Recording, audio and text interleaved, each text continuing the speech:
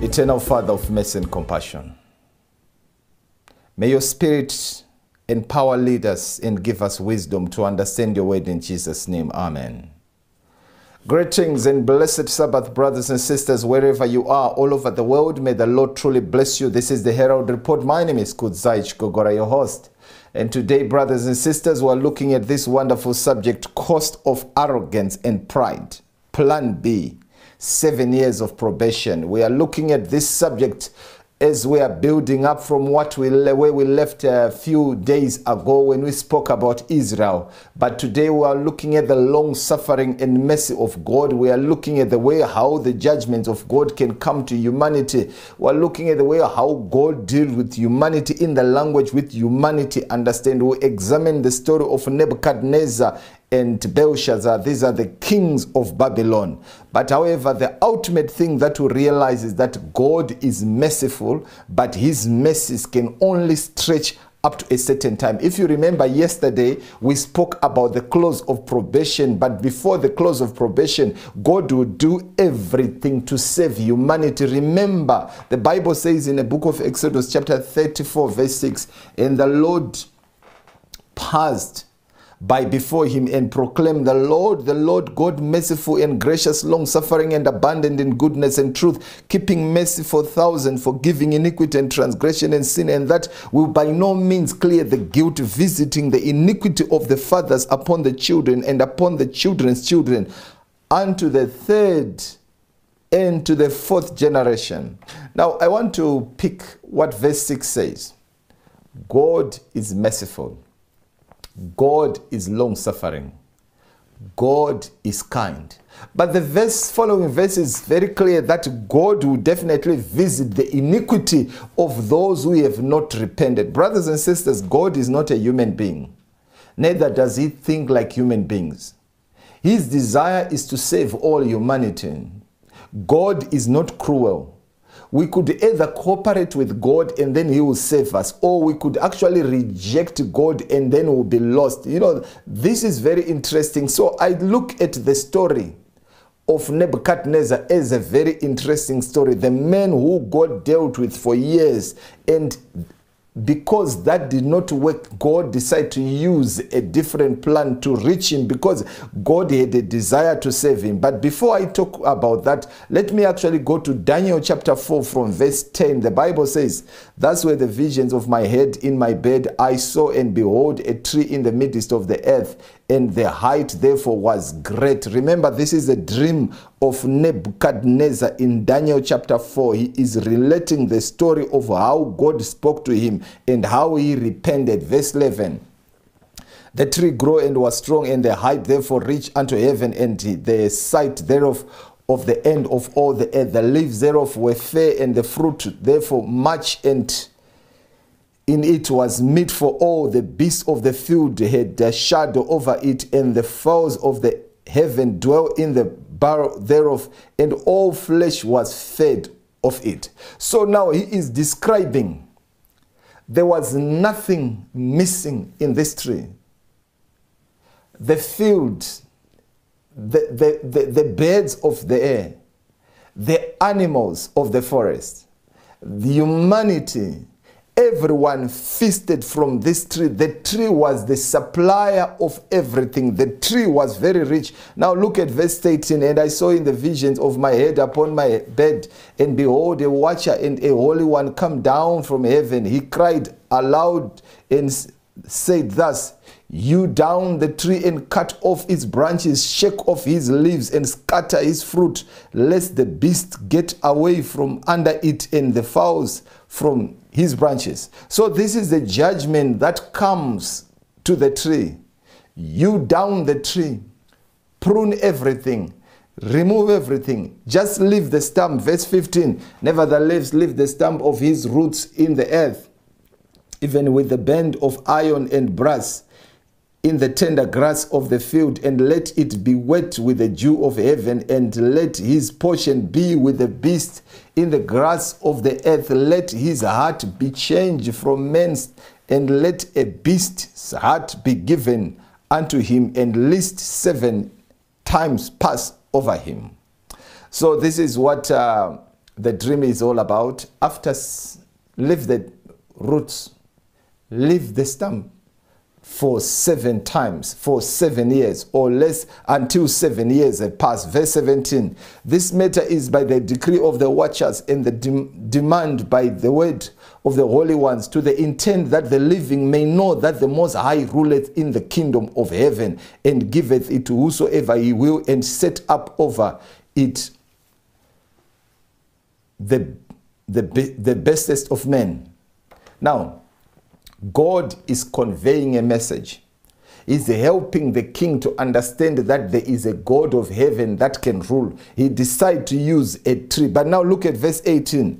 This dream I, King Nebuchadnezzar, had seen, O thou, O Belteshazzar, referring to Daniel, declare the interpretation thereof, for as much as all the wise men of my kingdom are not able to make known unto me the interpretation, but thou art able. Therefore, the spirit of the holy gods is in thee.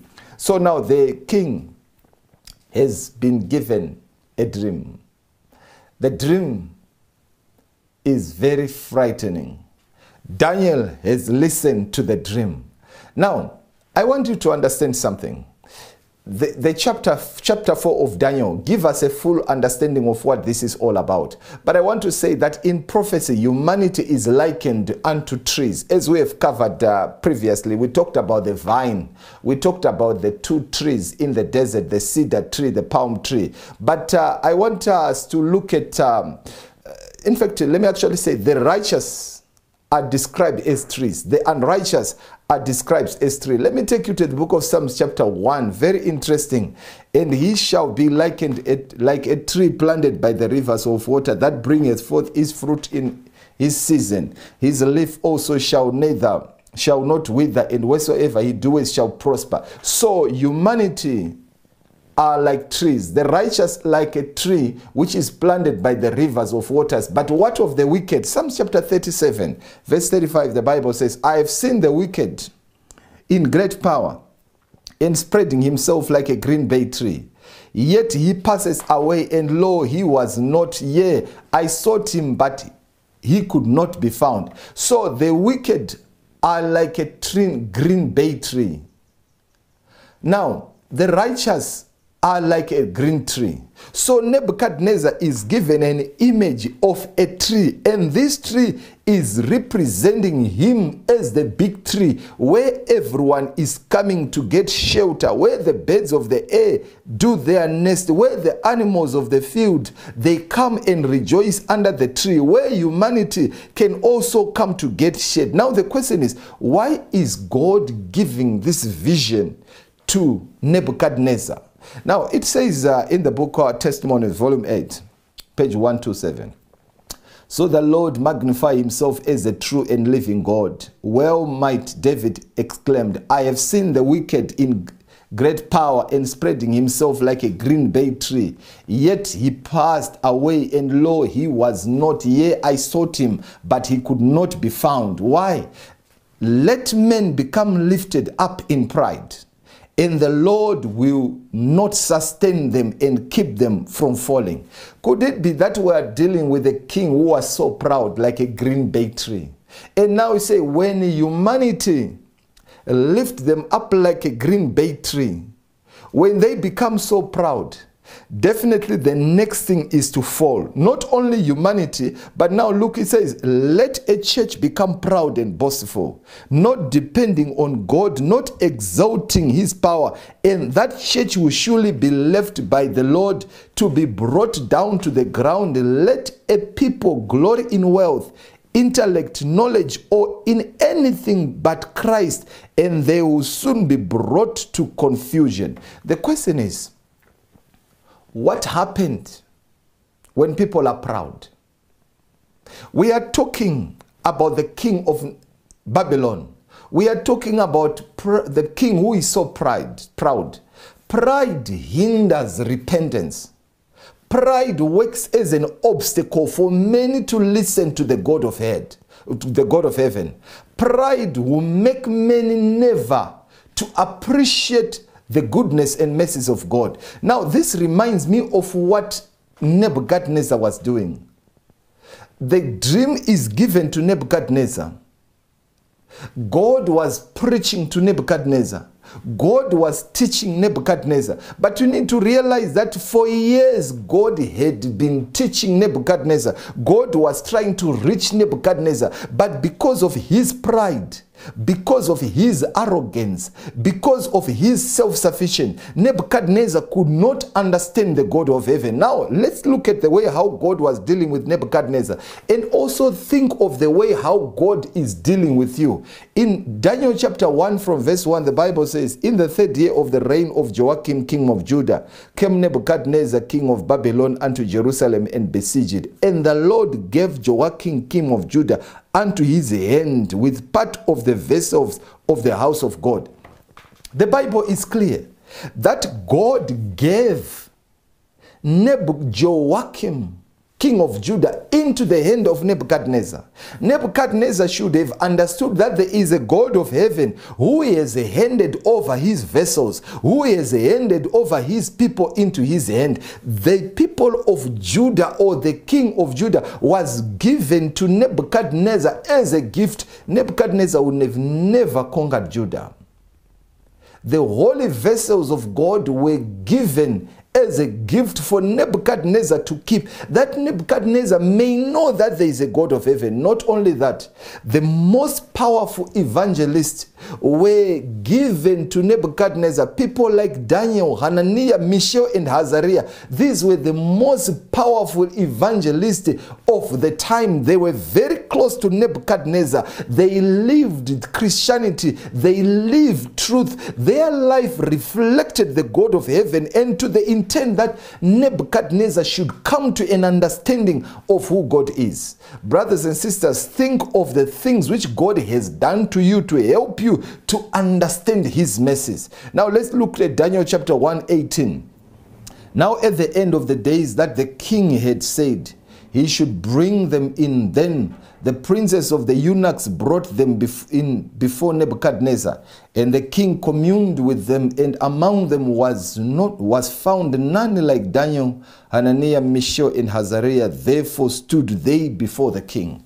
So there, these four evangelists, they were brought close to the king to preach to the king to teach the king, to demonstrate to the king what it means to be a child of God. What was the intention of God? When this gospel is understood by Nebuchadnezzar, it has already been understood by all because Nebuchadnezzar will help humanity to know that there is a God of heaven. Now let's go to Daniel chapter 2, verse 46. The Bible says, Then the king Nebuchadnezzar fell upon his face and worshipped Daniel and commanded that they should offer an oblation and sweet odors unto him. The king answered unto Daniel and said, Of a truth, it is that your God is a God of gods and a Lord of kings and a revealer of secrets, seeing thou couldst reveal this secret. So now the king after Daniel interpreted his dream, after Daniel reminded his dream of Daniel chapter 2, he realized that surely there is a God and there is a God of heaven, and there is no other God like this. God is trying to help Nebuchadnezzar to understand that you know there is one God to be worshipped, and this God, this God is the only true God, the God of heaven. But in chapter 3, from verse 24, the Bible says, then Nebuchadnezzar the king was astonished and rose up in haste and spoke and said unto the counselors, Did not we cast three men bound into the midst of the fire? They answered and said unto the king, True, O king. He answered and said, Lo, I see four men loose walking in the midst of the fire, and they have no head, and the form of the fourth is like the Son of God. The king's eyes are opened after he had thrown the three Hebrew boys in the fire because of their rejection of to worship idols. And God of heaven decided to open his eyes and he see the fourth person. He say the fourth person is like unto the Son of God. How did he know about the Son of God? It is because the four Hebrew boys lived according to the word of God and their character reflected the Son of God. And if there was any evangelism which was done. There is no better evangelism which was like that which was done in Babylon to the extent that the king could see that this is the character of God in his children. And when the Son of God was revealed, he could tell that this is what they were describing. Now, verse 28, the Bible said, Then Nebuchadnezzar spake and said, be the God of Shadrach, Meshach, and Abednego, who has sent his angels and delivered his servants that trust in him and have changed the king's word and yielded their bodies that they might not serve nor worship any god except their God, own God. So after the king had understood all this, after the king had a clear understanding of the king of God, heaven, still he did not change. And on this juncture, the king did not stop there. He went on to make a decree which was of no value. Look at the decree. Therefore, I make a decree that every person, people, nation, and language which speak anything amiss against the God of Shadrach, Meshach, and Abednego shall be cut in pieces, and their homes shall be made a dunghill, because there is no other God that can deliver after this sort. Then the king promoted Shadrach, Meshach, and Abednego in the province of Babylon. Oh, yes, the king has admitted that there is no other God. There is only one God, and the God of heaven is a much better God than anything else, and everyone should not speak anything amiss against this God. The question I ask myself is chapter 1, chapter 2, chapter 3 of Daniel. Years had passed while the Hebrew boys were in Babylon. Was God able to reach Nebuchadnezzar? Everything was done that could reach the heart of Nebuchadnezzar. All the gospel was preached, all the signs and miracles were done, all the wonders. But the question is did God reach him? No. The heart of Nebuchadnezzar never changed. Therefore, because of the failure of Nebuchadnezzar, God decided to give him plan B. Therefore, he gave him a dream. That's why we now see the dream of chapter 4.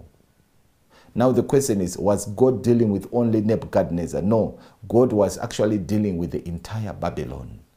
But he used Nebuchadnezzar, he was the king the people of Babylon will listen to their king better. But now, what exactly was the problem of Babylon? What was the sin of Babylon? The Bible says in Isaiah chapter 21 9, And behold, he cometh a chariot of men. Behold, he cometh a chariot of men with a couple of horsemen, and he answered and said, Babylon is fallen, is fallen, and all the graven images of her gods he has broken unto the ground. So the main problem was that image worship. This was a common sin of Babylon to worship other idol, uh, other gods. Remember, the, the first commandment said, "Thou shalt not make, uh, thou shalt not have any other gods before me." The second one, "Thou shalt not make unto thee any graven image." There was idol worship and self glorification. These were the main sins of Babylon. These were the main sins of Nebuchadnezzar. And because of self glorification, which comes with pride, he could not listen or he could not understand the call of God. Uh, Jeremiah chapter 51, verse 6 Flee out of the midst of Babylon and deliver every man his soul. Be not cut off in her iniquity for this is the time of the Lord's vengeance. He will render unto her a recompense. Babylon has been a golden cup in the Lord's hand that made all the earth drunken. The nations have drunken of her wine. Therefore, the nations are mad. Why are the nations mad? Because they are drunk with the wine of Babylon, the teachings of Babylon. Verse 8 of Jeremiah chapter 51 Behold, Babylon is suddenly fallen and destroyed. Hold for her take balm for the for her pain. If she be if so she may be healed. But unfortunately babylon will not be healed. We would have healed babylon but she is not healed. Forsake her and let us go everyone into his own country. For her judgment reached unto heaven and is lifted up even to the skies. So babylon will not repent there is no hope for Babylon. Why is the sin of Babylon so great? Idol worship, arrogance, fullness of bread, ruthlessness to the nations, heavily taxing the nation, destroying without mercy, no regard of the God of heaven. Therefore, her sins reached unto heaven. We'll come to the spiritual Babylon in the uh, presentations coming. But let me go to verse 40, Jeremiah chapter 41, 47. It says, uh, 51 47 therefore behold the days come that i will do judgment upon the graven images of babylon and her whole land shall be confounded, and all her slain shall fall in the midst of her. Then the heaven and the earth and all that is in them will sing for Babylon, for the spoilers shall come unto her from the north, says the Lord. Yes, destruction will come to Babylon because of her graven images, because of her iniquity because of her ruthlessness, because of her failure to repent. Now, Isaiah chapter 13, verse 19. In Babylon, the glory of the kingdoms, the beauty of the Chaldeans, excellency shall be as when God overthrew Sodom and Gomorrah. What happened when God overthrew Sodom and Gomorrah? Nothing remained. Why was it? Now look at verse 20. It shall never be inhabited, neither shall it be dwelt in from the generation to generation, neither shall the Arabian pitch their tent, neither shall the shepherds make their fold there. But wild beasts of the desert shall lie there, and their houses shall be full of uh, doleful creatures, and all owls shall dwell there, and uh, satyrs shall dance there. So, what exactly is happening? Babylon will be destroyed like Sodom and Gomorrah, never to be rehabilitated again. Why? There is no hope for the Babylonian system. It has fallen. Daniel chapter Genesis chapter 11, it has fallen again. Daniel chapter 5, never to be rebuilt again. There is, however, hope for the individuals in Babylon who decide to give their hearts to the Lord Jesus Christ. But spiritual Babylon is already fallen and she will never repent. Now, what exactly is the actual sin of Babylon? We have dealt with the sin of graven images. But let me actually come to another point which is very interesting in uh, manuscript release uh, 1903. That's uh, uh, letter 114. Let a people boast themselves in their own wisdom let them exalt self and uh, indulge pride, and the result will surely follow. Brothers and sisters, if we boast, if we become proud, if we fail to understand our position, the result will definitely follow. As surely as the sun shines by day, so surely does pride go before destruction and a haughty spirit before a fall. Let a church become proud and boastful, and the church will be laid low. Let those in charge of any institution become presumptuous, taking to themselves the credit for the success that has come to them in certain lines. Let them glory in their wisdom and their efficiency, and they will certainly be brought to the humiliation. So, pride was the main problem in Babylon pride is a main issue in even among the children of, of God today. But now let's actually return to the dream of Nebuchadnezzar because of his sin of pride, because of his failure to repent. God decided to talk to him in a dream of a big tree. Fortunately, on this one in chapter 4 of Daniel, chapter 4, he did not forget the dream. But now the his, uh, his uh, Chaldeans or his soothsayers or his wise men could not help him to know the interpretation. Therefore, he called Daniel. Now, Daniel had listened to the dream. Now, look at the reaction of Daniel. Then Daniel, whose name was Belteshazzar, was astonished for one hour, and his thoughts troubled him. The king spake and said, Belteshazzar, let not the dream or the interpretation therefore trouble thee. Belteshazzar answered and said, My Lord, the dream be to them that hate thee, and the interpretation therefore to thine enemies. Daniel could not believe that God was about to deal that way with Nebuchadnezzar. Daniel could not take it that God had, was about to do such kind of ruthless. That's why he said, Listen, uh, King, let this dream be to thy enemies. But now, what was the problem with Nebuchadnezzar? And what exactly was his sin? Was his sin different from the sins of Babylon? And why would Daniel be so troubled?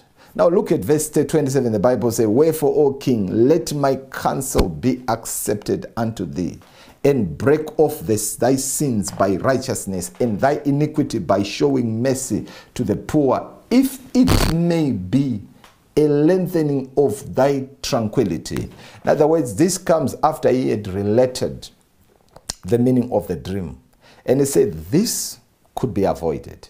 And the best way to avoid this, O king, is you could repent. The best way to avoid this, O king, is to show mercy to the poor, to show kindness. You are so harsh, you are so ruthless. You don't seem to have a regard of those people around you. Please be kind.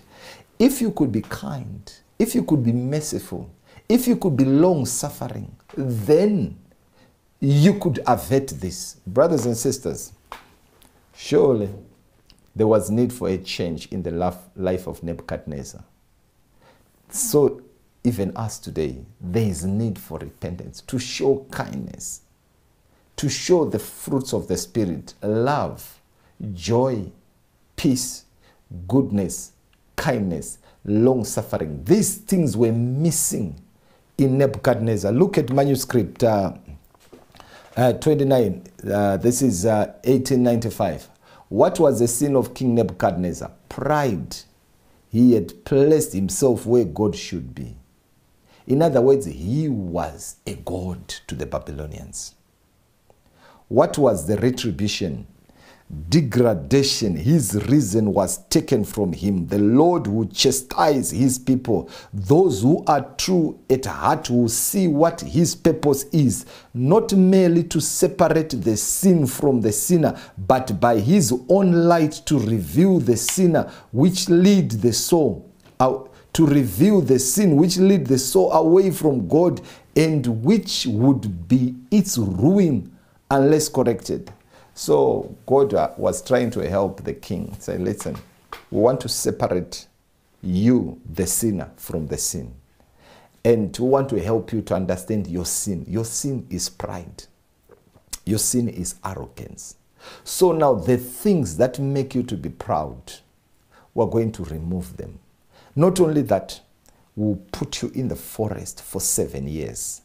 And in the forest for seven years, you will not be able to sit as a king in your palace for those seven years. In those seven years, you will go and learn with animals. In those seven years, you'll be wet with the dew of heaven. In those seven years, you walk on four as an animals. You'll be dwelling with the baboons in the forest until you know that there is a God in heaven. You know, that's a very powerful lesson, or that's a very painful lesson of being humbled. You know, the book of First Peter chapter 5 says, humble yourself under the mighty hand of God. Rather than being humbled, please humble yourself. And we're told that from the story, history of the characters described in the Word of God, we learn that prosperity is dangerous to spiritual life. Now, prosperity is dangerous to spiritual life. Brothers and sisters, it's not bad to be rich. Uh, we want resources. It's not evil to be rich we talk of rich people like Abraham. We talk of rich people like Job. We talk of rich people like Solomon in the Bible. Let me therefore qualify this quotation. From the story of the characters described in the Word of God, we learn that prosperity is dangerous to spiritual life. Oh, yes. If prosperity will be a hindrance so that you don't understand when God is talking. If prosperity is a hindrance so that you don't understand your sin or you will not be able to take heed to the word of God, then prosperity could be dangerous and is definitely on that note is very dangerous. It says, It is not those who have lost their pro- property that are most likely to forget God. It is not those who have lost their property that are most likely to forget God. It is those who have a measure of prosperity or who have been successful in their plans. The cup that is most difficult to carry is not the one that is empty, but the one that is full to the brim. This must be balanced with nice precision. Oh, this is a, this is a very powerful quotation. As I lived in England for a very long time, the question was asked why is it that in England our spirituality is so low? What is the problem? And then somebody say, prosperity. When people are living pretty, they don't seem to have an understanding of God. When people have got so much, they have no need.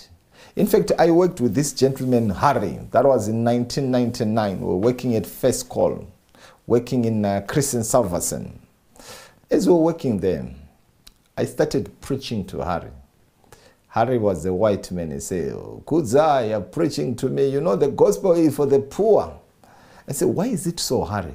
Because the poor are thinking they, they, they, they want to be blessed, so they, they are in need of something, so they would rather seek God to be blessed. But we, the rich, we don't need anything. Therefore, you don't see the gospel is not for the whites. This was the thinking of Harry. I disagree with him. But however, on this point, I realize what he meant.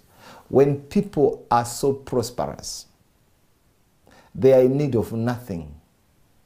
They may not see the need of God. Therefore, sometimes God had to remove the environment, he had to change the circumstances so that he could reach us. To Nebuchadnezzar, God removed him from his throne temporarily he took away all the pleasures around him so that he can be in an environment when he can hear the voice of God. And this is what you call plan B.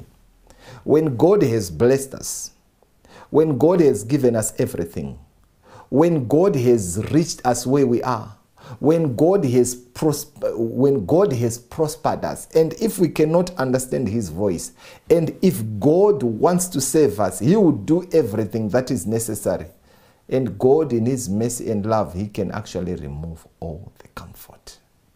As God removed the comfort from Belshazzar, Nebuchadnezzar, Nebuchadnezzar's life changed. But now, before we got, get to that, let's go to verse 33 of Daniel chapter 4.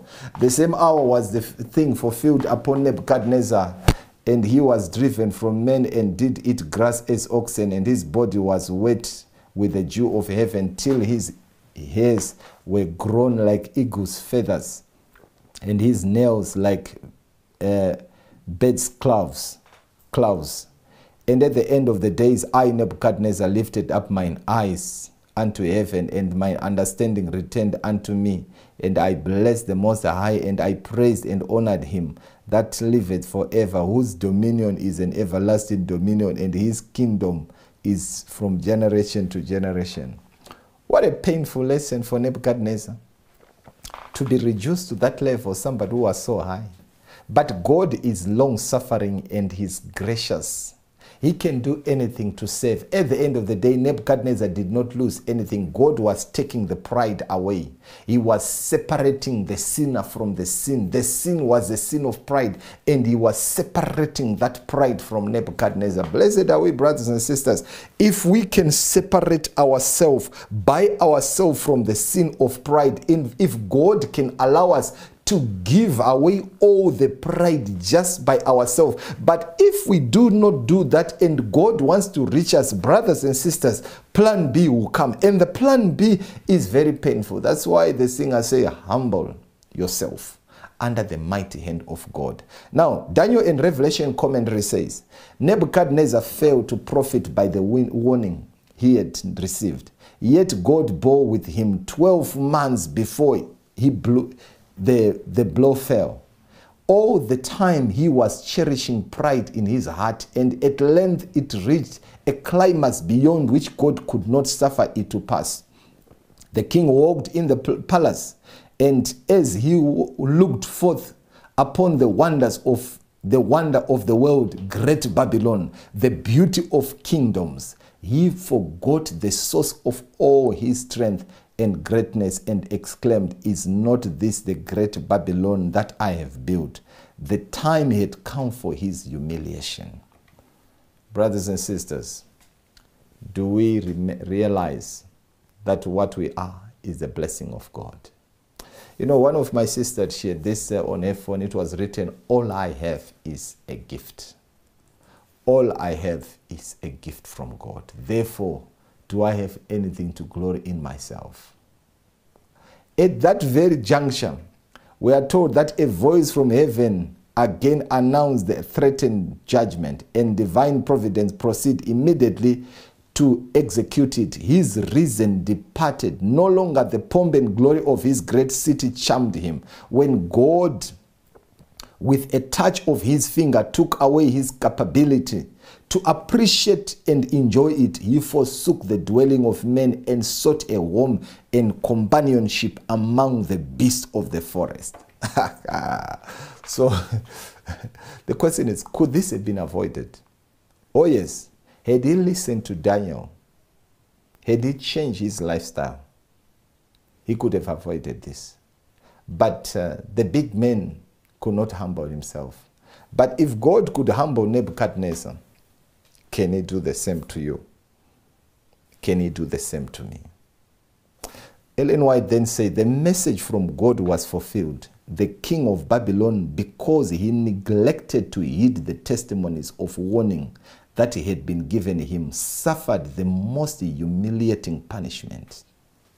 Warnings had been given him of God. Daniel had appealed to him to change his course of action, to break off his sins by righteousness, in order that this terrible sentence might not be fulfilled, but self indulgence, inordinate ambition was not eradicated from his heart, and after a time revealed itself in words of vanity.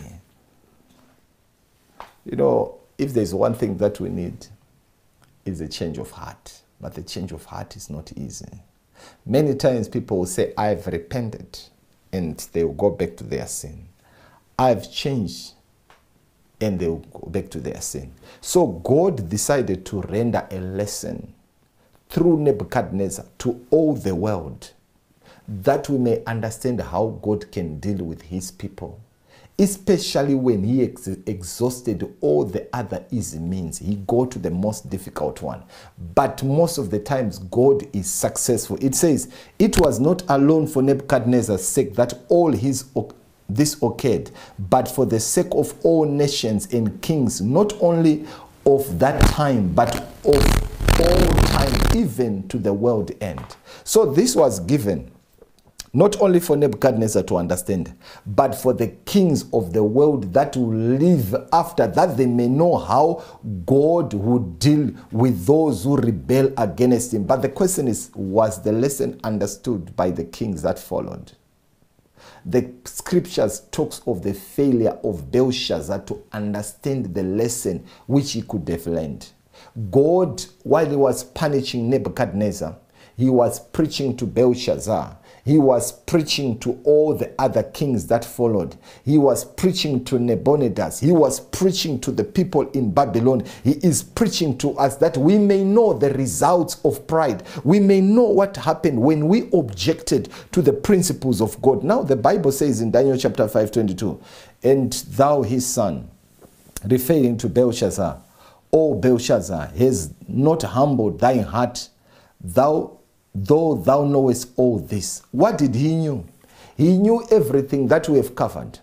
The banishment of his grandfather, to go into the forest for seven years, to behave like an animal, to eat as an animal. He also knew about how God gave the prosperity to his grandfather, how the children of Israel were handed over to, to, to Babylon, and he knew how God preached the gospel to Belshazzar and how the ambassadors from Judah, I'm talking of Hananiah, Mishael, and Azariah lived. He knew all the truth. He knew about the temperance of Daniel chapter 1. He knew that there is another kingdom that will come after Babylon, according to Daniel chapter 2. And he knew that there is a God that needs to be worshipped above all other gods. And we are to give homage to this God. And he had a full understanding of the repentance of his grandfather. But the man could not humble himself. He walked into the same sins. Therefore, his sentence was different from that of Nebuchadnezzar. Now, look at verse 23. But he has lifted up thyself against the God of heaven, and they have brought the vessels of his house before thee, and thou and thy lords, thy wives, and thy concubines have drank wine in them, and thou hast praised the gods of silver and of gold, of brass, of wood, of iron and stone, which see not, nor hear, nor know, and the God in whose hand thy breath is, and whose are all thy ways, hast thou not glorified. So, what did the king do? He regressed, he left the religion which was adopted by Nebuchadnezzar, and he went back to the religion of Babylon. Nebuchadnezzar repented and forsook everything. But his son decided not to repent. He decided to continue in the sins of their grandfathers. And what was driving him? Prophets and Kings, page two, uh, 4, 5, 2, 3. In his pride and arrogance, with a reckless feeling of security, Belshazzar made a great feast to a thousand of his lords and drank wine before the thousand all the attraction that wealth and power could command added splendor to the scene. Beautiful women with their enchantments were among the guests in, the atten- in attendance at the royal banquet. Men of genius and education were there. Princes and statesmen drank wine like water and revealed under its madness influence with reason dethroned through shameless intoxication and with low impulses and passion. Now, in the ascendance, the king himself took the lead in riotous orgy. Oh, yes, he did worse. And what did he command? Bring the holy vessels. There was nothing holy anymore, there was no limitation to what he could do because he neglected the opportunity for salvation. Now, the most painful part is Prophets and Kings, page uh, 5 to, to paragraph 2. It says, Many had been his opportunities to know the divine will and to understand his responsibility of rendering obedience thereto. He had known of his grandfather's banishment by the decree of God from the society of men, and he was familiar with Nebuchadnezzar's conversion and miraculous restoration. But Nebuchadnezzar allowed the love of pleasure and self glorification to efface the lesson that he should never have forgotten. He wasted the opportunities graciously granted him and neglected to use the means within his reach for becoming more fully acquainted with truth that which Nebuchadnezzar had finally gained at the cost of untold suffering and humiliation, Belshazzar passed with indifference. What else could be done when everything has been done? The lessons were very clear to the young man. There was no need for him to go through the same. God was very patient with Nebuchadnezzar, but God was not very patient with Belshazzar. The years that Belshazzar lived, he lived during the time when Nebuchadnezzar was there. He was watching the life of Nebuchadnezzar. He was watching the life of Hananiah, Mishael, and Azariah, and Daniel. This was enough to preach to him, but he did not take that serious. Brothers and sisters, we have an opportunity for truth. We have internet we have now now there is free wi-fi and the media is still open we have an opportunity we have got our bibles we have got all that is necessary to reveal truth to us we have the health message we have the spirit of prophecy We have the best preachers of the world. We have all the truth. The question is, why can't we decide for salvation? Can God do anything? Brothers and sisters, we may not get the opportunity of Nebuchadnezzar to give, be given seven more years in a different environment. We could be, end up like Belshazzar. Hitherto shall you go, but no further. You had opportunity and God was talking to you, but you did not regard it. You know, it says, many disregard the light and opportunities granted them by God and stubbornly follow their own way. Thus did Bel- Belshazzar. Although God had revealed himself in honor and majesty to Nebuchadnezzar, Belshazzar closed his eyes to the light and chose his own course. Brothers and sisters, how is it with us today? Can we open our eyes to the light shining? Open our eyes to the truth revealed in the Word of God. Open our eyes to what God is saying to us. Blessed are we if we could change like Nebuchadnezzar. Happy are we if God will give us such an opportunity. But, brothers and sisters, God is giving us an opportunity every day. Our end could be like that of Belshazzar. May the Lord help us to take His word seriously. That probation may not close before us like as it did to Belshazzar because of failure to realize the lesson around us. It is my prayer that as God has given us all this chance to repent, we may use this opportunity and salvation will be ours. Shall we pray? Loving Father of mercy and compassion, as you dealt with Belshazzar, so you deal with many. But Lord, we've understood that you are a God who is long suffering, who is compassionate. You don't want anyone to perish. Therefore, we pray that as you extend this mercy to us, we may use this day to give our hearts to you. Pour your Spirit upon us. Grant us according to thy grace and thy power in Jesus' name. Amen. Until then, brothers and sisters, may the Lord truly bless you. I look forward to see you in the next edition. We've got quite a lot of things to look at. The central bank digital currency in Europe, the digital ID is something very interesting, which is something in, a lot of things interesting happening in the world. But enjoy the day, enjoy the Sabbath, and I look forward to see you soon. Don't forget to share the message. Don't forget to subscribe. God bless.